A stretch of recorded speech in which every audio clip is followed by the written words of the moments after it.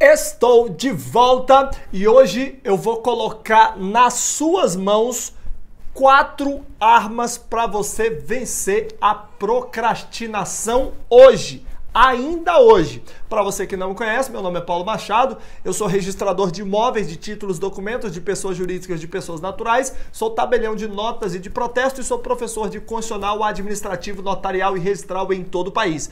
E hoje eu tô aqui em mais um dos 100 passos para uma vida extraordinária segundo Tony Robbins. Já assistiu os outros? Não? Vai lá, meu amigo, tem vários passos já gravados gratuitamente para você. E lógico, se você gostar dessas quatro armas aqui, aperta o botão do curtir, deixa um comentário aqui embaixo dizendo assim: eu eu decidi fazer isso. Ou então eu vou passar no concurso dos meus sonhos, ou então eu vou restaurar meu casamento, sei lá. Comenta aqui embaixo. Eu vou amar saber que você comentou. Olha só, diz Tony Robbins no livro Passos de Gigante, que é base para essa nossa saga, é o seguinte: a protelação, a procrastinação, ela é um dos meios mais comuns de evitar a dor.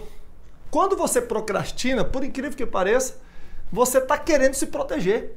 Você está querendo evitar dor. Porque você está tendo uma dor de não fazer aquilo que deveria ser feito. Só que talvez você está com medo de que ao fazer determinada coisa você sinta uma dor maior ainda. Então Tony Robbins vai dizer o seguinte: no entanto, em geral, adiar a ação apenas cria mais dor no, no futuro. Então a primeira coisa que você tem que ter ciência, não é uma das quatro armas, tá? Mas primeira coisa, adiar geralmente vai criar uma dor maior no futuro. Então a mudança já começa por aí. Você tendo essa consciência. E aí, o Tony Robbins oferece quatro perguntas que eu considero quatro armas para você vencer a procrastinação. Olha, cuidado, vai parecer básico, mas isso aqui é transformacional. E se você não pegar uma caneta, anotar e responder para você mesmo, não diga que eu não te ofereci as armas que eu prometi nesse vídeo.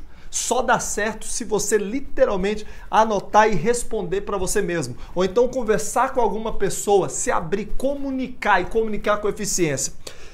Quais são as quatro ações que você vem adiando e que precisam de sua atenção hoje? Essa é a pergunta do Tony Robbins. Faça uma lista e em seguida responda as seguintes perguntas. Queridão, primeira coisa, coloque aí as quatro ações que você vem adiando e que precisam de sua atenção hoje. Beleza? Depois você vai fazer as seguintes perguntas que eu considero quatro armas para você vencer a procrastinação nisso que você está adiando. Se liga. Primeiro, você vai perguntar para você assim: por que não realizei essa ação? Por que, que você não realizou isso aí? Por que, que você não pagou aquela conta? Por que, que você não viajou? Por que, que você não fez inscrição no concurso? Por que, que você não mudou seu casamento? Por que, que você não mudou sua vida financeira? Por que, que você não fez. Faça essa pergunta aí. No passado, é, dentro dessa pergunta ainda, ó, por que não realizei essa ação? E ainda, ó, no passado, que tipo de dor associei à sua realização? Que tipo de dor você associou a realização dessa tarefa que você está procrastinando? Segunda pergunta que eu considero a segunda arma poderosa para vencer a procrastinação. Que tipo de prazer você eventualmente obteve no passado ao ceder a esse padrão negativo? Hein? Fala para mim. Fala para mim. Se você deixou de pagar uma conta no passado e obteve um prazer com isso,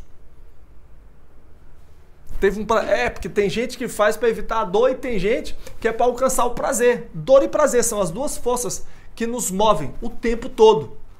Pode ser que no passado, por deixar de fazer alguma coisa, você ganhou alguma coisa. Sei lá, você tinha um carro financiado e aí você deixou de pagar as prestações e conseguiu quitar o carro por um valor infinitamente mais barato. Tudo bem, foi bacana para você naquele momento. Mas e aí? E o restante?